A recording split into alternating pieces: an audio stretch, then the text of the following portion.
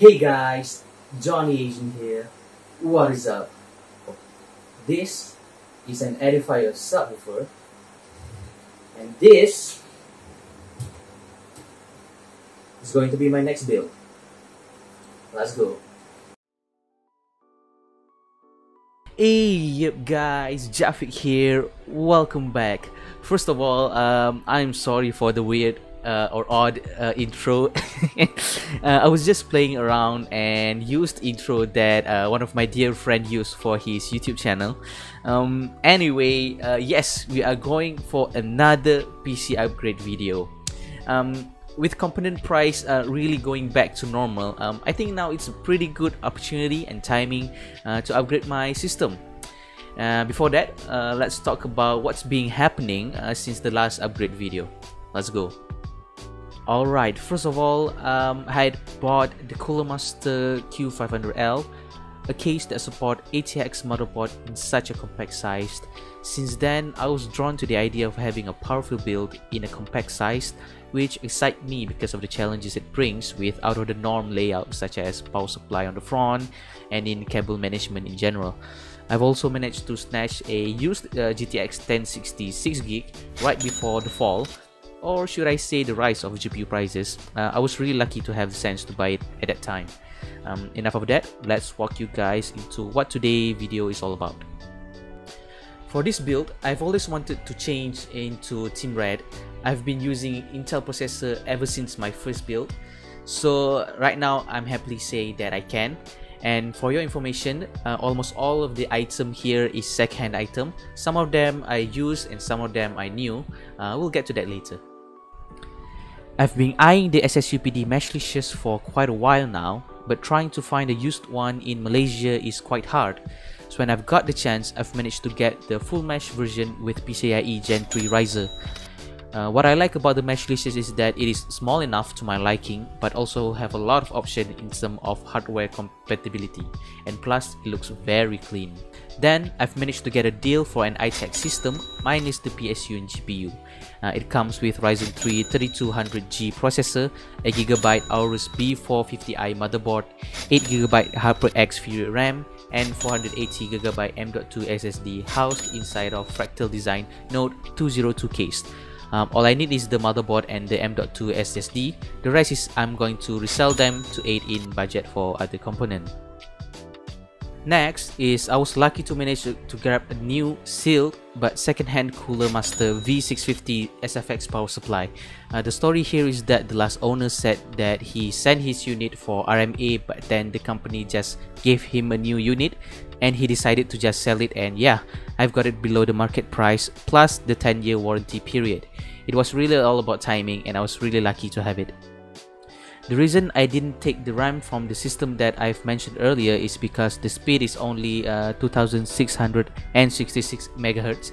So I opted for a 2 stick of 8GB HyperX Fury with uh, 3200 MHz.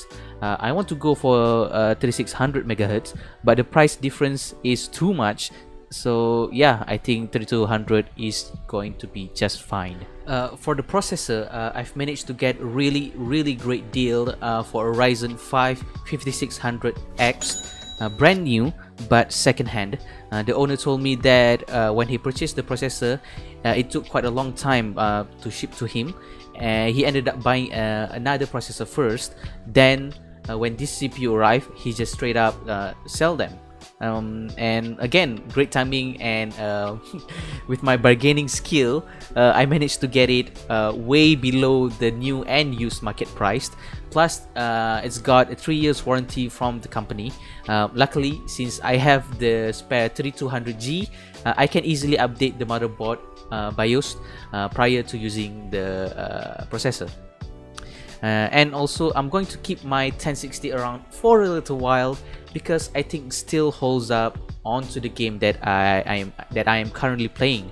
And also even though the GPU price are going down they still cost a lot and I need some time to get the money.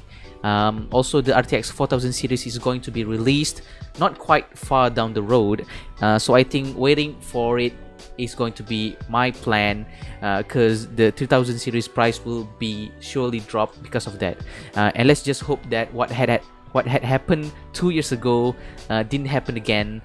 Uh, this is the same case for uh, storage where uh, I plan to have a 2 terabyte uh, NVMe but because I, ca I can't wait for it um, for the sake of this video I'm using the 480GB M.2 SSD for now. Lastly, I grab a new ID Cooling Auraflow X240 AIO it's not the top tier AIO out there, but its friendly budget price is good enough for me, and I have a good experience using ID Cooling 120mm FrostFlow AIO for my current i5 system. I found no issue with it and the temp never went above 70 degree. Forgot to mention, I purchased the PSU cable extension for fun. With that out of the way, let's get into the building process.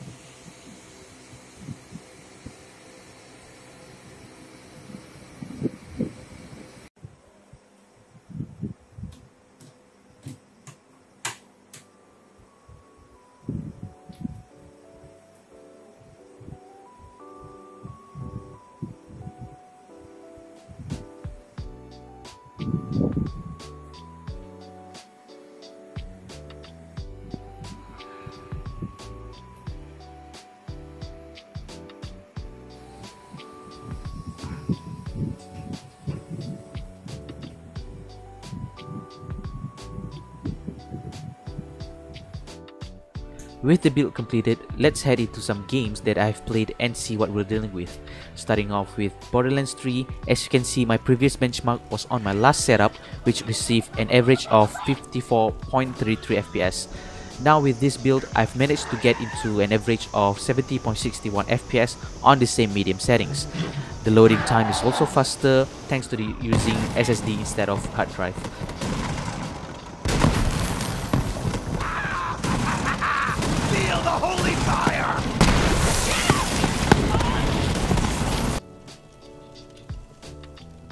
On gameplay though, I feel no more spike or FPS dip because now instead of CPU bottleneck, it's GPUs, and the game run much more smoother and on consistent FPS.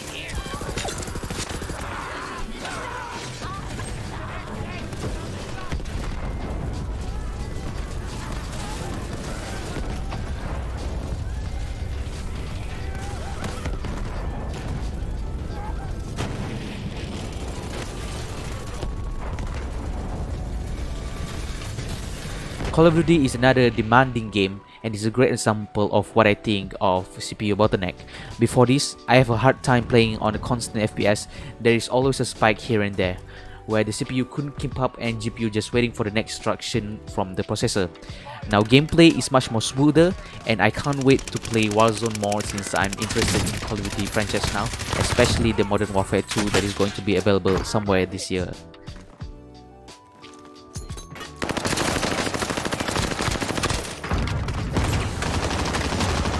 Last but not least, who could forget the fan favorite Mac Warrior Online?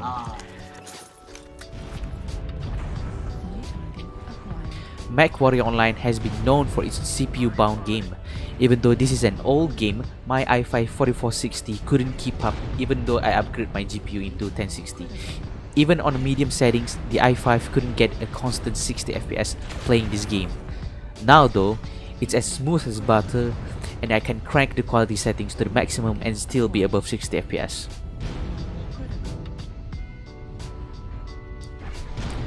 For the temperature, as you can see across these three games, the CPU and GPU temps never went above 80 degree and only above 70 in some cases for a while, maybe because of boosting, and after a while, they dropped down back to 65 to 70 degree range.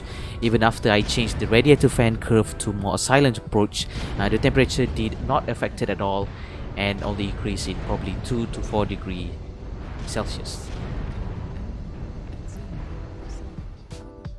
Okay, let's talk a little bit about uh, migrating from a normal or standard build to an ITX build.